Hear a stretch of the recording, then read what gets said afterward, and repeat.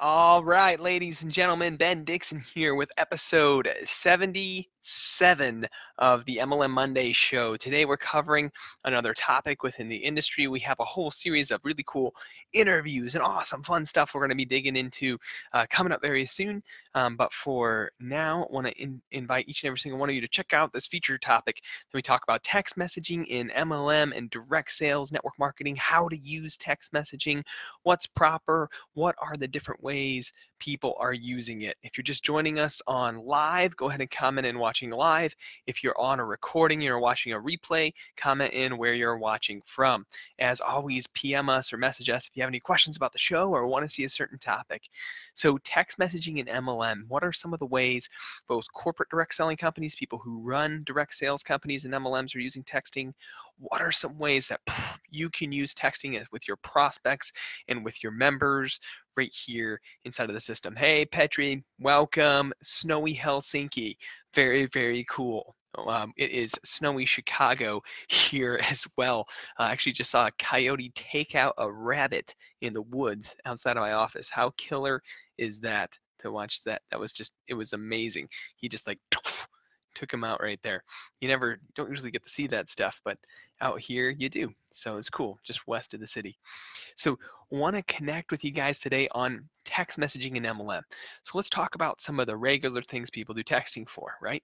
Many times you have your a list of text messages or ideas of how you can use texting that you share with people who are actual reps and distributors in the team. So, hey, once you make your list of people that you're going to reach out to, here's a text question you can ask them to see if they're open to connecting about the product or the service or the opportunity, right? Here are some questions you can text out that pique curiosity, right? This is kind of the minimum uh, viable use of texting here in direct sales today, right? If you're not already doing that, uh, you should be doing that. Have a preset list of texts people can use uh, that help them with quality questions they can ask uh, to open up conversations with people in their life, right?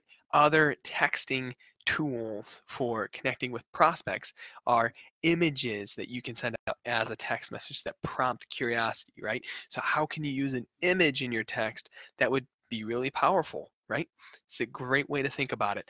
A lot of clients that we work with will even mobile optimize a capture page with a video on it so that when they text it out to somebody, you know, on iOS, it'll have like a beautiful OG tag of like the site. And then when they tap on it, it will open up and play the video right on their mobile device and invite them to try a product or a service. If you don't yet have mobile capture pages or mobile landing pages, people can text out to folks, send me a message. I'd be glad to connect with folks on our team who do that type of work here in the space will connect.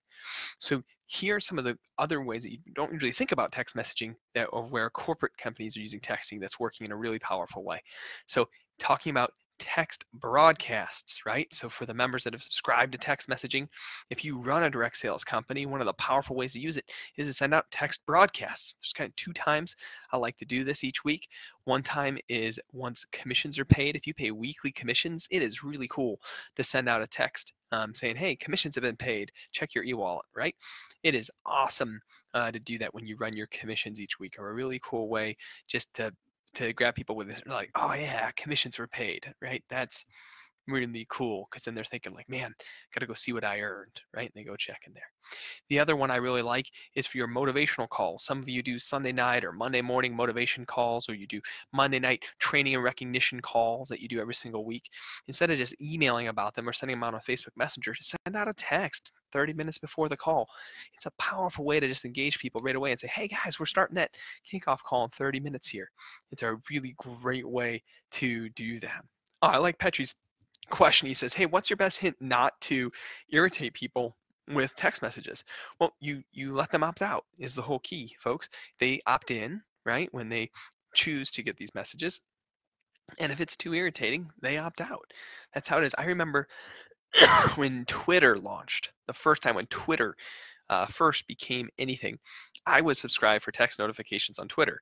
And I remember I had bought a rental property and I was walking out to my rental property with my contractor that day, and my phone's just blowing up. This, it was just text after text after text after text of who followed me back and all this stuff. And I was like, this is too much. And I turned it off, right? And I've never had text updates from Twitter uh, ever since on my phone. Um, but there's other services where if you're only getting, you know, two text messages a week or three text messages a week, that's not irritating, right? And I may choose to keep subscribing uh, for that. One of my favorite places to send text messages is when a prospect takes an action. So if you're the company, have triggers in your system so that when a new prospect fills out the form on a website or registers for a webinar or purchases a product that you would send a text message out inside of the system. It's awesome when people can get a notification that, oh yeah, my personally enrolled person, you know, my personally uh, invited prospect just filled out the form on a website or, or watched a video. It's really cool to them to know that right away in real time. It's an incredible way to get results and real-time feedback for folks. There's a lot more ways to use text messaging, but if you have uh, questions about it or ways you've been using it in the space, uh, we have a compliant texting platform we've been using for years inside of our marketing systems. We'd be glad to assist or connect on that. Know that if you're not using text messaging, though, you truly are missing out. It's amazing how not only 95 plus percent of messages are open, but they're read you know um, you, you get nowhere near that in email and you can do it in a way where people are not irritated and the answer to that is that it's relevant right? People are fine with relevant information.